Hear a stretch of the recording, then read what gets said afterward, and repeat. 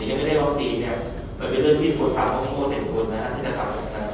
นะครับเพราะฉะนั้นสำคัญก็คือว่าวัคซีนไม่ครบยังไงต้องตะลุยฉีดน้องตัวเองให้ได้ก่อนแล้วก็ต้องรอวัคซีนในในทศวที่สองที่มาเพื่อมาฉีด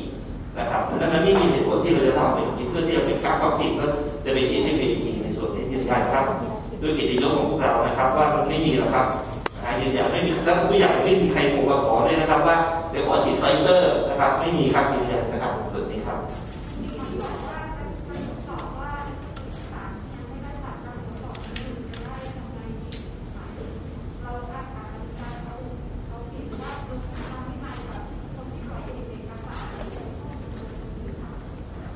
อันนี้ไม่ทราบเพราะยังไม่ได้ทราบข้อเท็จจริงแล้วต้องดูข้อเท็จจริงก่อน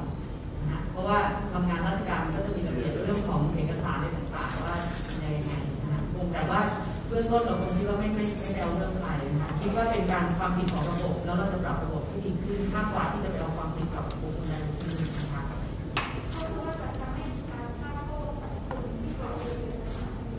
ก็ถ้าเขาไม่มีหน้าที่ในการปล่อยก็ไม่ไม่น่าจะไม่ค่ะคนที่ถือข้อมูล นะคนที่ปล่อยอาจจะไม่ได้เป็นเจ้าของข้อมูลก็ไปเก็บเก็บไปต่อหนึ่งนะคะ คือคนที่เป็นเบื้องต้นว่า